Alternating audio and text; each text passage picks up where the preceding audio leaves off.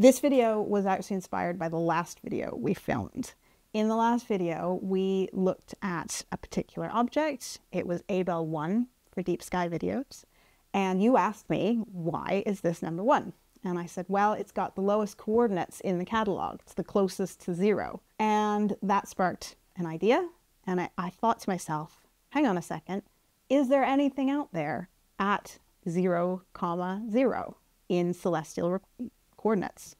So I went looking. We probably want to define our coordinate systems. And it gets a little bit complicated because we are, of course, on the Earth.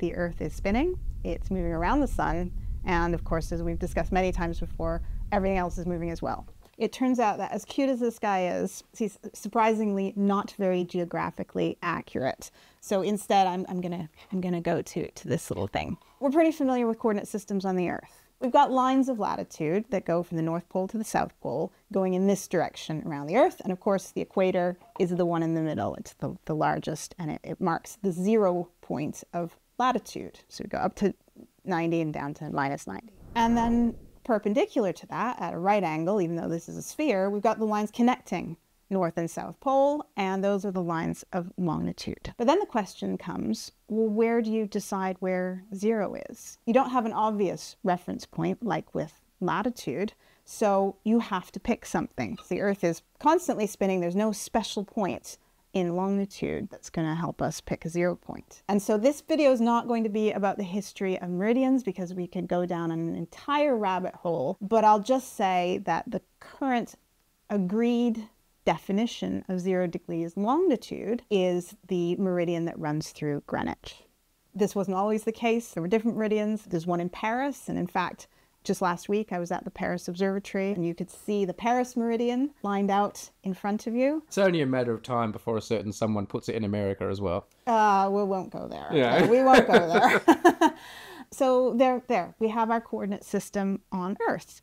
And so then the question arises, well, what's at zero, zero? What's at the intersection of the prime meridian, zero degrees longitude, and the equator, zero degrees latitude? Oh, I don't know the answer to that. I know. I thought this would be fun to look at. Oh, that's amazing. I've I can't believe I've never wondered that. What is it? Where is it? Well, where do you think it is, Brady? I'm a guessing Africa. yeah, it's just off the coast of Africa. It's in the Gulf of Guinea. The nearest country is Ghana. I think it's a few hundred kilometers oh, away. Oh, so you can't really go and stand there. Oh, but you're going to love this, Brady. There is something there. They've put a buoy right there, a little oceanographic floating thing that marks the spot of zero comma zero. I think in cartography circles it's called Null Island. How cool! I know. I want to. I want to go there. I thought that was a really neat thing. So, and then the question I wanted to ask is Is there something equivalent in space? And so now we have to switch from our terrestrial coordinate system to our celestial coordinate system, although they are tied together. Um, and that's because we are observing the sky from Earth. The Earth is spinning, and that sets up some, just like with latitude, sets up some natural ways in which we can measure coordinates. So if you take the equator and you project it out into space, you get the celestial equator. And if you take the North and South Pole and you project them up in space, you get the North Celestial Pole and the South Celestial Pole. Of course, all of that is then moving over timescales of thousands of years because the Earth's axis is precessing in this sort of wobble, but we won't mention that just now. So that gives us sort of an equator in the sky uh, that we can measure. We, instead of calling latitude, we call it declination. Then we get the same problem as we had with longitude where do we start zero in the other direction? And we don't call it longitude, we call it right ascension. And we don't measure it in degrees, we measure it in hours. And that's because of the motion of the sky. So we had to decide on a zero point. And of course, you couldn't use the prime meridian on Earth because that is spinning all the time relative to the stars. Yeah, but it's close. We, we do actually tie in the prime meridian to this definition because what's happening over the course of the year is that the apparent position of the sun is moving through the sky. So if you take a picture of the sun at the same time every day, it's going to trace out a very famous figure of eight. And at the pinch point of the eight is where the sun crosses from the south celestial hemisphere to the north celestial hemisphere. And that is equivalent to when it crosses the equator. And so what we do is we pick a date. We say the March equinox is when the sun passes from the southern hemisphere to the northern hemisphere. And this happens to be the intersection between the celestial equator that I mentioned and the plane of the ecliptic, which is where all of the planets are aligned in a plane. And of course, that's why we see the sun cross at that point. So there is a definition, it is motivated physically, but we do have to make a decision to tie it down to a spe- specific point in time. And the point in time we choose is the March equinox. So this point actually has a name.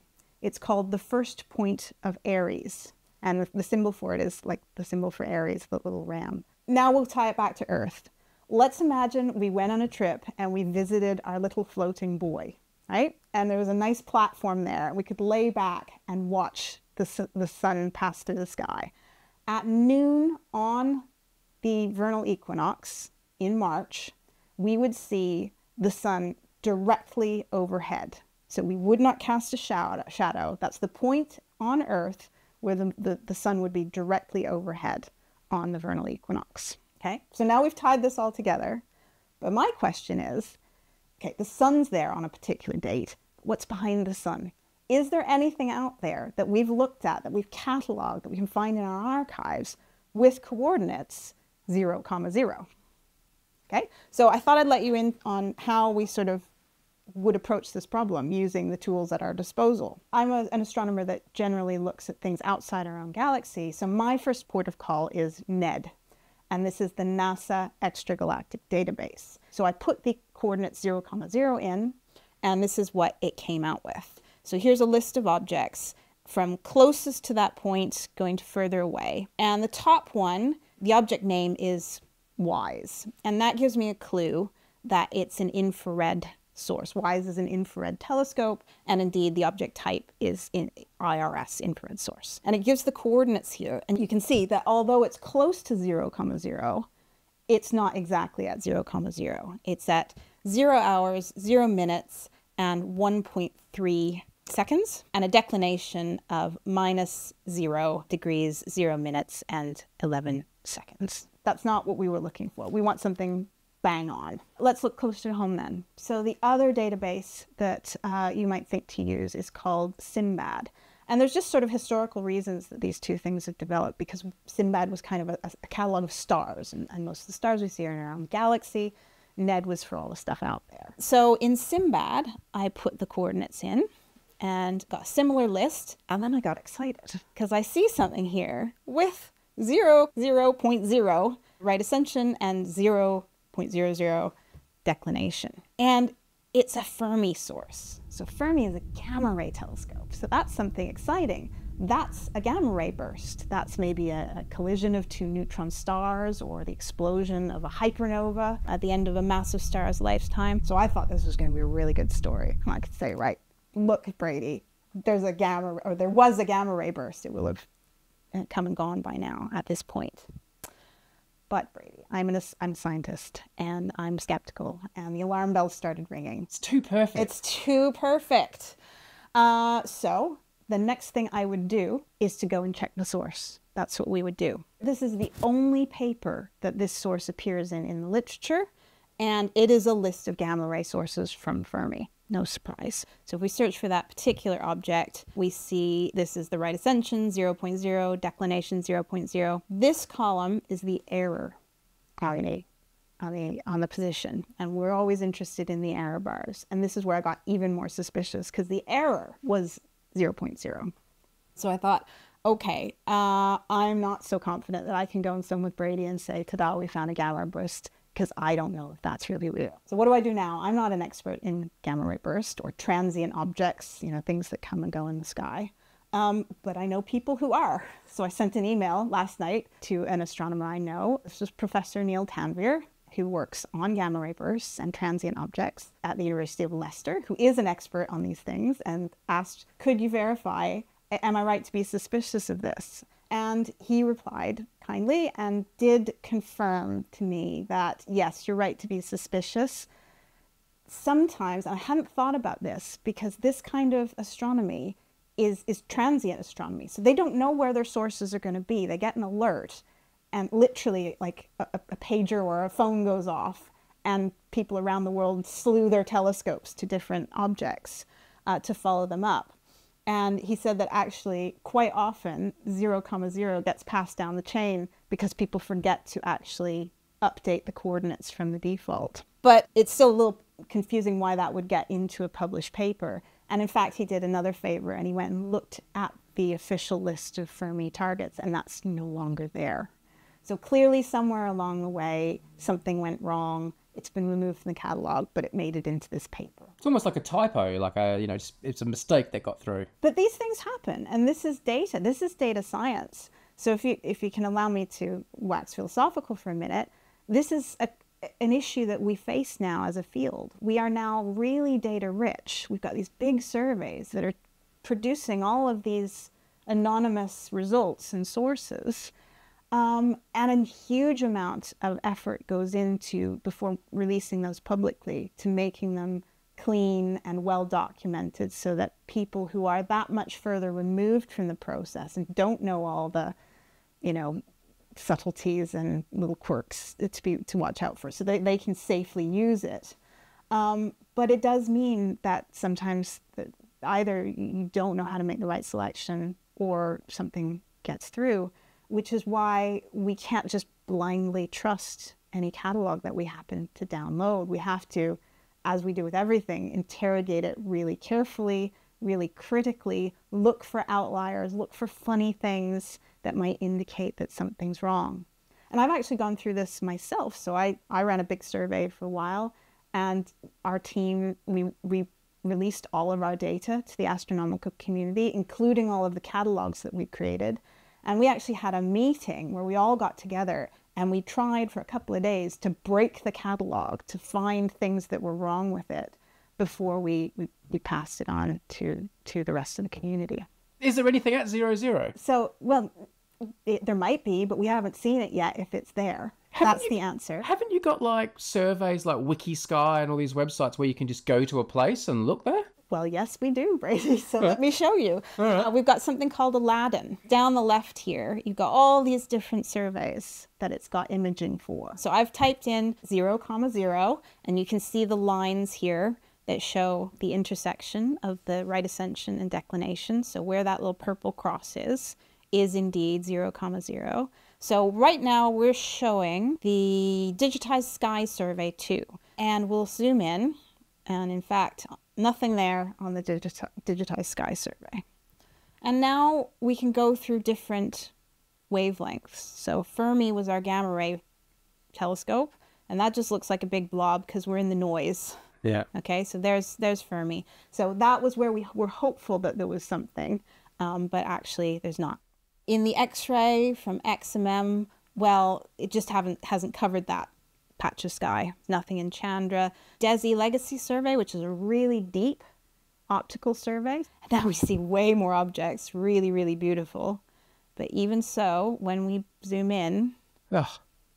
maybe maybe there's a hint of something nearby, but um, nothing right on target. But yeah, I think this this shows an illustration of sort of the tools that we have at our disposal, and also just allows us to answer the question: Do we see anything at zero comma zero?